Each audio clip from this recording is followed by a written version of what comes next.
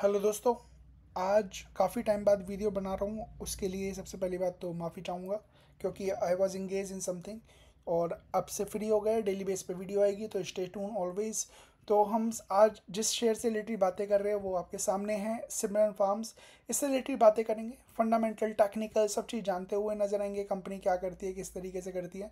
But video में आगे बढ़े, हमेशा की तरह रिक्वेस्ट करूँगा I am small cap investor channel को सब्सक्राइब बेल आइकन को हिट ऑल की नोटिफिकेशन कौन करिएगा। बाइंग सेलिंग की रिकमेंडेशन नहीं है, अपने फाइनेंशियल एडवाइजर खुद की स्टडी करना है, चीज़ों को सीखने पर फोकस करना है, और सीखने के लिए क्या करना है, हमेशा की तरह कहूँगा वीडियो जाके देखिए, बहुत सारा ज्ञान मिलता हुआ नज़र आएगा। इसके अलावा आप चाहो तो हमारे कोर्स को ज्वाइन कर सकते हो। नीचे नंबर है जहाँ पर बहुत सारी चीज़ें सिखाई जाएँगी। टेक्निकल फंडामेंटल बहुत सारी चीज़ें आपकी क्लियर हो जाएगी, है ना? और साथ में अगर काम करना है तो भी नंबर दे रखे कॉन्टैक्ट कर सकते हैं व्हाट्सअप कॉल मैसेज कभी भी एनी टाइम बात करते हैं सिमरा फॉर्म्स लिमिटेड की तो हम यहाँ पर कंपनी से रिलेटेड बातें करेंगे। कंपनी करती क्या है? हमने इससे रिलेटेड आठ नौ महीने पहले भी बातें करी थी, है ना? उस टाइम शेयर ठंडा था। बट अब इस शेयर में दोबारा जान आ चुकी है और शायद ये शेयर यहाँ पर आपके लिए एक मल्टी बैगर शेयर साबित हो सकता है।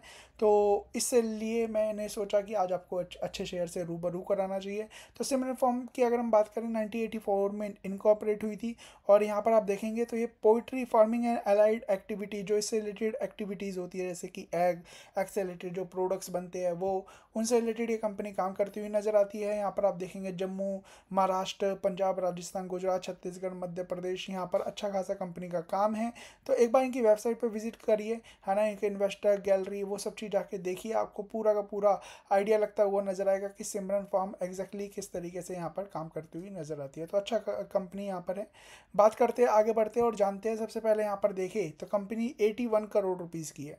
तो मतलब क्या है मार्केट कैप 81 करोड़ रुपीज़ का मतलब पैनी स्टॉक हो गया माइक्रो कैप हो गया, है ना? और स्मॉल कैप से भी नीचे ये शेयर है। तो इसलिए जब मैं स्मॉल कैप और उससे छोटी कंपनी की बात करूँ तो याद रखिएगा, सबसे पहले हमारे चैनल का नाम भी यही है। वो इसलिए क्योंकि हमारी एक्सपर्टीज़ इसमें है। दूसरी बात करें तो जब भी छोटे शेयर की बात करूँ तो याद रखिएगा, सही टाइम पे लेना, सही टाइम पे बेचना, वो बहुत ज़रूरी है और वो कला है जो हम यहाँ पर सिखाते हैं।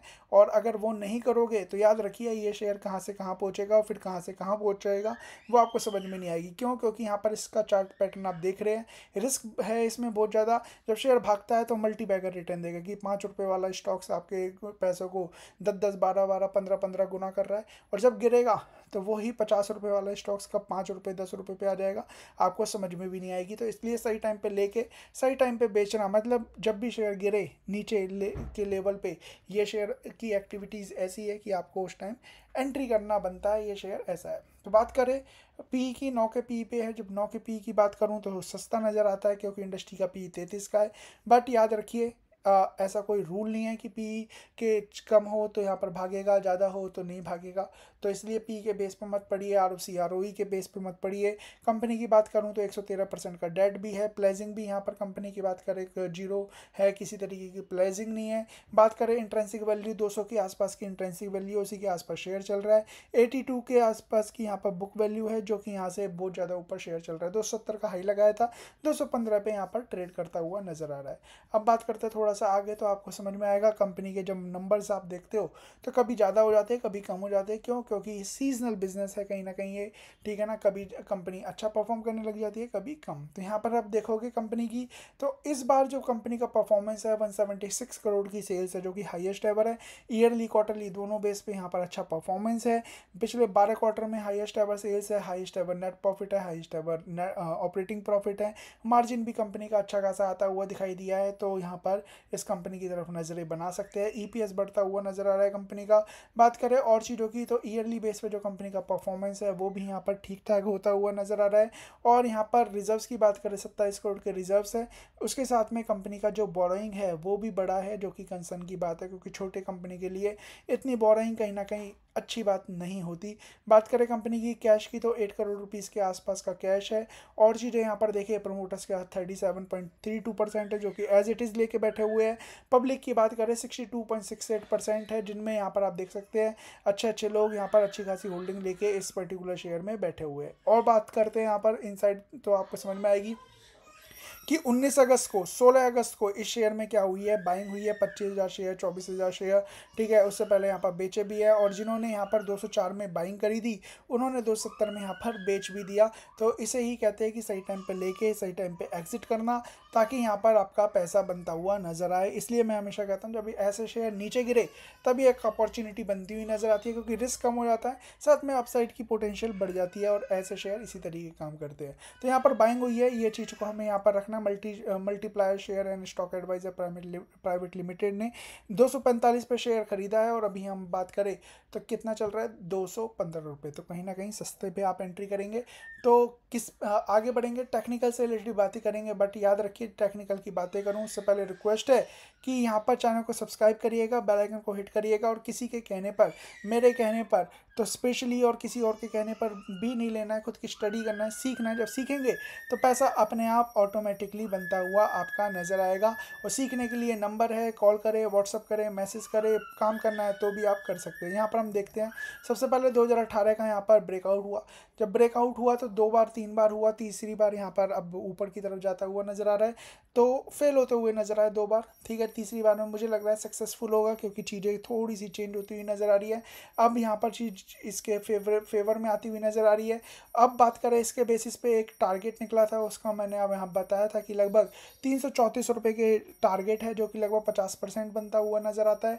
और एक और यहाँ पर चार्ट बनता हुआ नज़र आ रहा है, जो कि यहाँ पर आप देखेंगे तो एक कप बना रहा है। कप बना के नीचे आया और एक हैंडल बनाता हुआ नज़र आ रहा है। तो कप विद हैंडल पैटर्न का जब ब्रेकआउट होगा, जो कि दो सौ के ऊपर होगा तो यहाँ पर टारगेट इसके और बढ़ते हुए नज़र आएँगे चार सौ छप्पन रुपये के, जो कि लगभग 150 से सॉरी 112 से परसेंट के लगभग बनते हुए नज़र आते हैं। जब मैं बात करूँ कि यहाँ पर इस तरीके से चीज़ें काम करती हुई नज़र आएगी तो ऑब्वियसली बात है टाइम लेगी। दूसरी बात रिस्क भी इन्वॉल्व है। क्योंकि कंपनी अगर एक आध क्वार्टर दोबारा ख़राब कर देती है क्योंकि सीजनल बिज़नेस है कभी ऊपर कभी नीचे चलता है तो याद रखिए शेयर फिर दोबारा धड़ाम से नीचे आता हुआ नज़र आ सकता है। बट चीज़ें शायद इस बार ना हो तो इसलिए याद रखिएगा मेरे कहने पर किसी और के कहने पर नहीं लेना है। दूसरी बात हम बात करें जब शेयर को लेना है तो रिस्क को हमेशा मैनेज करना है। है ना? क्यों? क्योंकि याद रखिए रिस्क रिवॉर्ड रेशो ऐसे ही कहा जाता है कि आप कितने आपको द, दस रुपये बनाने के लिए कितना रिस्क ले रहे हो। उसी को यहाँ पर जितना फेवरेबल होगा, उतना पैसा बनेगा। तो यहाँ पर रिस्क कितनी बनती है? दो सौ छः रुपये दो सौ पाँच रुपये का एक स्टॉप लॉस लगभग लगभग दस रुपये नीचे कितना हो गया? लगभग साढ़े चार पाँच परसेंट के आसपास का रिस्क बनेगा। जब यह शेयर भागेगा तो सबसे पहले टारगेट दो सत्तर के आपके पैसे यहाँ पर बन गए। दूसरे टारगेट यहाँ पर तीन सौ पचास रुपये के आसपास के है, जो मैंने अभी बताए थे फ़िलहाल में, कितने रुपये के आसपास के। फिफ्टी परसेंट की अपसाइड यहाँ पर बताई थी। तो वो होती हुई नज़र आएगी तीन सौ तीस, तीन सौ बीस के आसपास। और जैसे जैसे चीज़ें और बढ़ेगी और अच्छा होगा। जब दो सत्तर को क्रॉस करेगा, तब यहाँ पर रिस्क और फेवरेबल हो जाएगी। तब दो तीन चार रुपये का स्टॉप लॉस होगा और फिर यहाँ पर और पैसे बनते हुए नज़र आएँगे।